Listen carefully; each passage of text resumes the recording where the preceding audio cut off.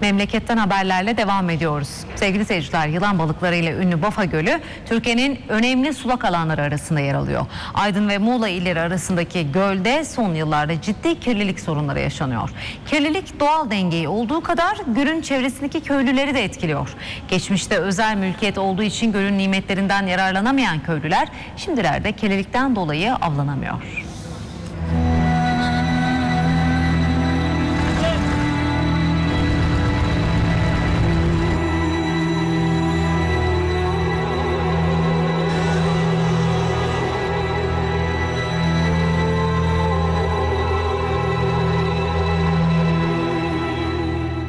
Yüzlerce yıl önce Ege Denizi'nin bir parçasıydı Bafa Gölü. Adı da Latmos Körfezi'ydi. Büyük Menderes Nehri'nin getirdiği alüvyonlarla körfez bir göle dönüştü. Ege'nin en büyük gölünün bir bölümü Aydın, bir bölümü Muğla topraklarında. Bafa Gölü'nün yüz ölçümü yaklaşık 65 kilometre kare, en derin yeri 21 metre. Büyük Menderes Nehri ile ve yeraltı sularıyla beslenen göl 250'nin üzerinde kuş, 300'ün üzerinde bitki türüne ev sahipliği yapıyor.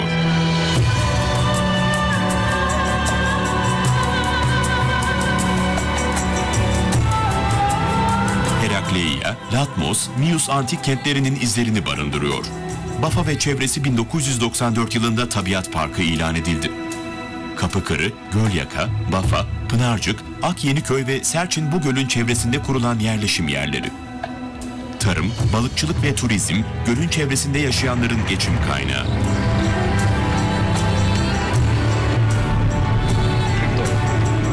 Özellikle yılan balığı yöre balıkçısı için önemli bir katkı sağlıyor. Meksika körfezinden yola çıkan yılan balıkları Atlas Okyanusu'nu, Akdeniz'i, Ege Denizi'ni geçip Büyük Menderes'e, oradan da Bafa Gölü'ne geliyor. Üreyip gelişen yılan balıkları tekrar Meksika körfezine geri dönüyor. Yılan balıklarının göç döngüsünün ne kadar zamandır sürdüğü bilinmiyor. Ancak gölün bilinen yakın tarihi çarpıcı olayları barındırıyor. 1978 yılına kadar gölün mülkiyeti tek bir kişiye aitti. Köylülerin Gölbeyi adını verdiği kişi adamları aracılığıyla gölde avlanmayı yasakladı. O yıllarda TRT'de yayınlanan bir programda bu toplumsal yarayı gözler önüne serdi. Gölde avlanmak isteyen köylüler Gölbeyinin adamlarının saldırısına uğruyordu.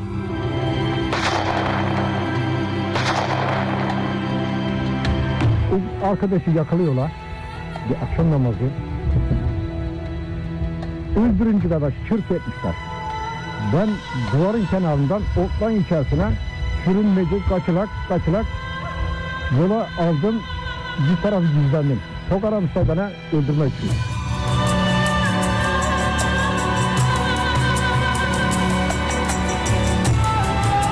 Ben de balıkçılık yapıyordum. Şimdi balıkçılığı bıraktım. İki, üç sene evvel arkada iki kayık yan yana göldeydik. Sabaha karşı biz ağlara çekmek sırasındaydık. Karşıdan iki tane kayık çıktı kameralı. Biri kameralı biri sarının kayığı devirdi. Tabii onlar da yanaştı bırakın dedi ağlara. Yani hiçbir şey yapamadık. Silah yok üzerimizde. Tuttu bir kurşun geldi. Arkadaşımızın bir tanesi gitti. İkinci kurşun yanındaki arkadaş attı. Ben bu sefer kayın kamerası şey baş tarafını çıktım. Demiri çektim. Bırak lan dedi. Demir dedi. Bir kurşun beni geldi. Başımın üzerinden geçti. Bu sefer onlar öbür kayayı çağırdılar. Kalktılar karşıya gittiler. Bu yüzden bırakmaya mecbur oldum.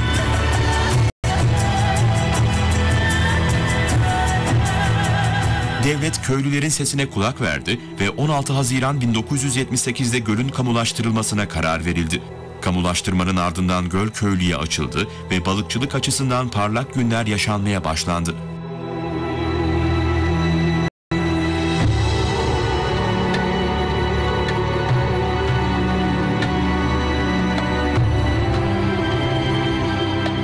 Bu gölde 500 600 kişi var yani. Yani kayıp onlar. Balıkçılık iyi gidiyordu ama Büyük Menderes taştığı zaman göldeki su seviyesi artıyor, kıyıdaki topraklar su altında kalıyordu. Bu durum göl çevresinde tarımla uğraşanları rahatsız ediyordu. Kışın geliyor toprak her tarafı su geliyor su alıyor. Zamanında çekilmiyor. E, balıkçılık olsun, olmuyorsun, olmasın demiyor. Kooperatif kurulsun. Bütün fakirlikler istifade etsin. Ama bunun yanında toprak da olsun. Herkesin üçer beşinin toprağı olsun ki topraktan da bir geçim sağlasın. Yalnız balıkçılık el vermez ki. Kimi bakar? Tüm dört köyün hepsi denize girdi. Hangimize bakar? Geçim sağlamanın imkanı yok bir kere.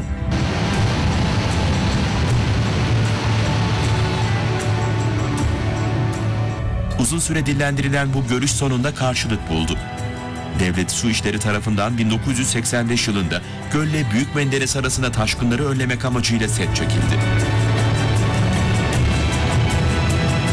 Çekilen setle kıyıdan toprak kazanıldı ama Bafa Gölü de beslendiği ana damarını yitirdi.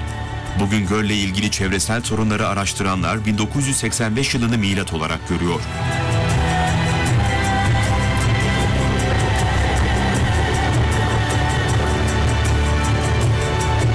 O tarihten sonra gölün ekolojisi hızla bozuldu, suyu kirlendi, bundan balıklar ve kuşlar etkilendi. Bafa Gölü'nün etrafındaki en büyük balıkçı köyü Serçin'de kirliliğin boyutlarını görmek mümkün.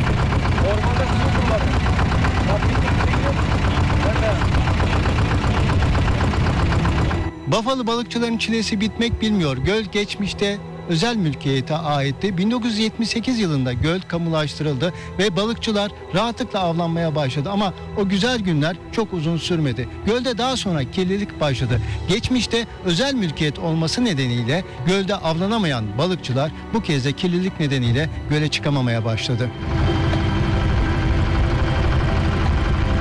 Göldeki kirlilik bir dert, su seviyesinin az olması ise başka bir dert.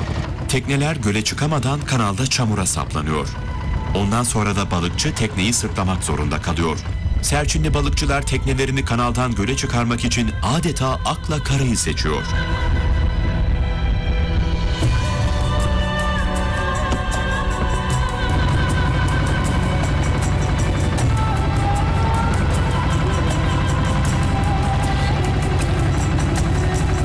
İşkence çekiyoruz burada.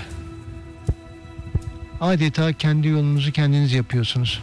Evet işte teknenin bu motorun açtığı yollarda yolumuzu yapmaya çalışıyoruz ama işte bu şekilde.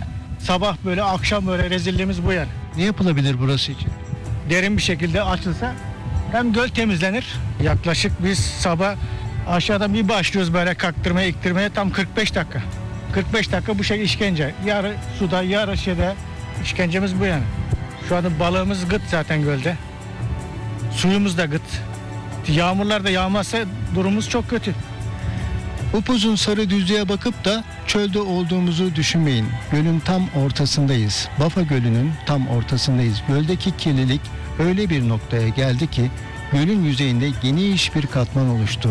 Öyle sık dokulu, öyle kalın bir katman ki kuşlar bile üzerinde rahatlıkla yürüyebiliyor.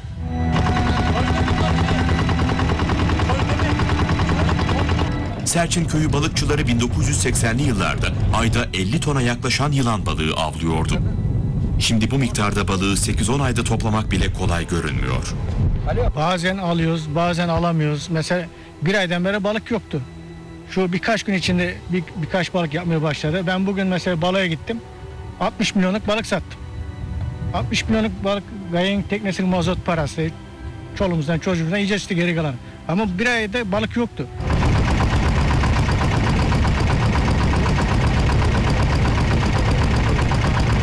...60'larda dayamış Çinli balıkçı İlmi Doygun gölün temizlenmesi için Menderes'ten devamlı su akışının olması gerektiğini söylüyor. Bu su hep böyle miydi? Bu su benim ufalığımda bu Papa Gölü'nün suyu. Gölde bardağla Papa Gölü'nün suyunu içtik. Aldığımız balıktan yansıyor, balık gıd oluyor. Tatlı su varken balığımız çok şahaneydi. İdikçe yesin gelirdi. Ama kirli içtikçe balık bozuluyor. Bahattin Sürücü bir çevre eylemcisi. Sürücü, Ekosistemi Koruma ve Doğa Sevenler Derneği çatısı altında oluşan kirliliği tespit etmekle kalmıyor, kirliliğin nedenlerini sorgulayıp çözüm yollarını arıyor. Sürücü, son 30-35 yıl içinde Büyük Menderes Nehir çevresindeki endüstriyel gelişmelerin kirliliği arttırdığını belirtiyor. Bugüne kadar Bafa Gölü için ortak bir yönetim planı bulunamadı. Zira Bafa Gölü ve çevresi tabiat parkı olması nedeniyle Orman Su İşleri Bakanlığı'na, balıkçılık açısından Gıda, Tarım ve Hayvancılık Bakanlığı'na, kirlilik nedeniyle Çevre Şehircilik Bakanlığı'na, göldeki su sirkülasyonu su giriş çıkışlarının kontrolü ise Devlet Su İşlerine ve Sulama Birliği'ne bağlı. Herkes kendi menfaati doğrultusunda Bafa'yı kullanıyor. Ee, ortak bir görüş yok. Ee, ama e, gerçek olan bir şey var ki e, Bafa'nın e, yaşaması lazım. Bafa'nın yaşaması için bir yönetim planının oluşturulması lazım. E, maalesef bu yapılamıyor. Hem köylüler arasında hem kurum e, hem de kurumlar arasında oluşmadı bu henüz daha.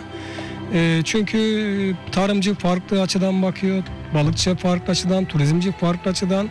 Aynı zamanda göldeki e, yönetim ise çok farklı. Bahattin Sürücü Bafa'yı kurtaracak formülün temiz su olduğunu vurguluyor. Bunun için Bafa Gölü'ne yönetim planı kadar Büyük Menderes Nehri'ne de havza planı gerekiyor. gördüğümüz bir şey var. Mesela bu gölde ulubat diye bir endemik bir tür vardı. Bu tür yok oldu. Daha sonra sazan balıkları vardı. Onar kiloluk sarı balık diye tabir edilen halk arasında bu balıkların e, nesli bitti. Yayın balıkları yaşardı. Onlar da bitti. E yarın bir gün yılan balıkları da biter böyle giderse.